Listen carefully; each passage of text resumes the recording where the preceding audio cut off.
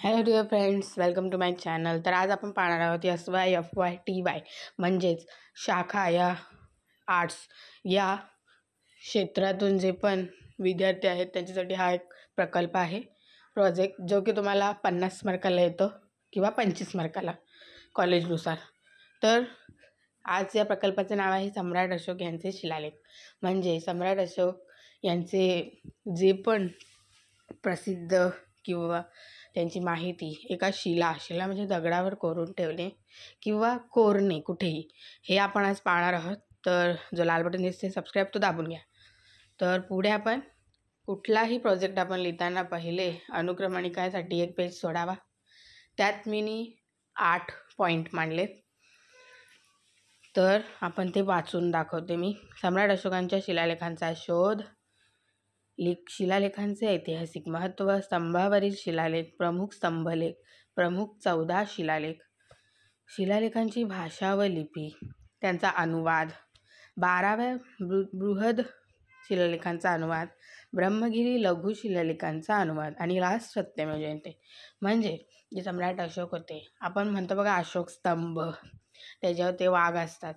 ते सम्राट अशोकांच्या काळानुसार आहे आणि ते सत्यमेव म्हणजे जयतेचं प्रतीक आहे.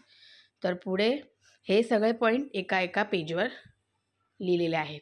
तर ते पेज लिहिण्याच्या आधी आपण प्रस्तावना लिहिली पाहिजे की मी या या वि वर्षाची विद्यार्थी किंवा विद्यार्थिनी आहे आणि शिकत आहे. आणि पूर्ण कुठून काय माहिती घेतले कुठून तो प्रोजेक्ट तुम्ही त्याची माहिती गोळा केले. ते सगळं लिहायचं आहे आणि काय कुठल्या कुठल्या माध्यमातून तुम्ही हा प्रोजेक्ट लिहिता? म्हणजे जर मी गुगलवरून थोडीशी माहिती घेतली थोडीशी पुस्तकातून घेतले हा पण प्रस्तावनेत आला पाहिजे.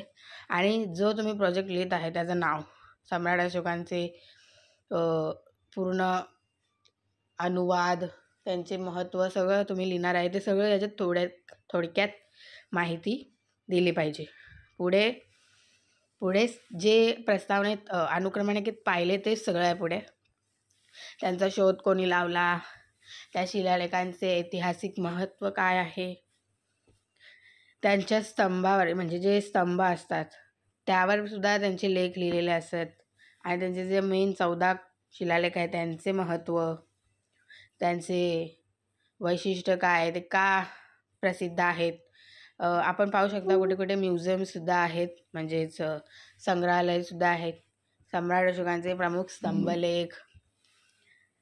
कुठे म्हण स्तंभलेख म्हणजेच कुठल्या कुठल्या देशात आहे देशात बोलतो शहरात आहेत. त्या शिलालेखांची भाषा कोणती होती? लिपी. आणि त्या शि दगडी शिलालेखांच्यावरती काय कशावर कोणते चिन्ह काय? आणि त्यांचा अनुवाद म्हणजेच त्यांची माहिती म्हणजे कशी लिहिले ते? आणि लास्ट सत्यमेव जयंती आहे. सत्यमेव जयंती मी तुम्हाला पहिले सांगितले की आपल्या आर बी आय बँकेचा जो चिन्ह आहे त्यात वाघ आहेत. भारतीय चलन दाखवते. पण हे भारतीय चलन सम्राट अशोक यांच्या काळातच अस्तित्वात आले. तर त्याचंच आता सत्यमेव जयते हा एक टॅगलाईन आहे आपण पाहू शकतो. तर ही मध्ये जी जागा सोडले तिथे तुम्ही सत्यमेव जयतेचा जो पोस्टर असं एक फोटो छोटा झेरॉक्स मारून लावू शकता किंवा रिअल लावू शकता.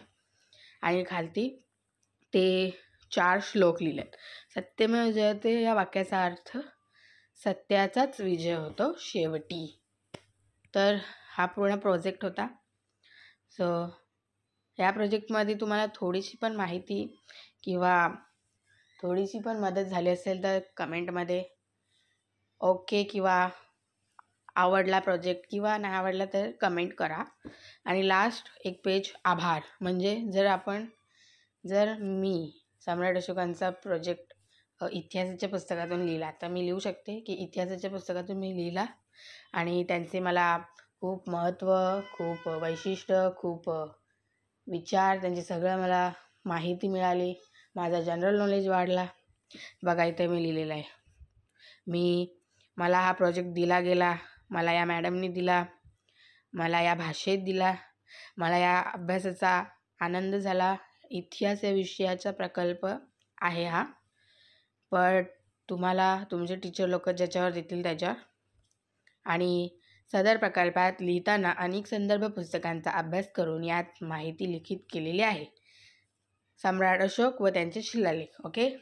तर हा प्रोजेक्ट आहे. थँक्स फॉर वॉचिंग आवडला तर सबस्क्राईब करा. आणि अशीच माहिती पाहिजे असेल तर चॅनलला सबस्क्राईब करा. थँक्यू